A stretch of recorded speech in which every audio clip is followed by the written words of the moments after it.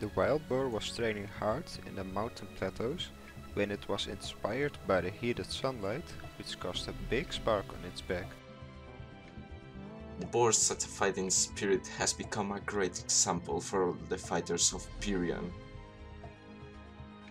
Once in a while, though, the overly zealous wild boar would spark too big of a fire on its back and turn itself into a piece of roasted barbecue, offering themselves as great meals for the fighters.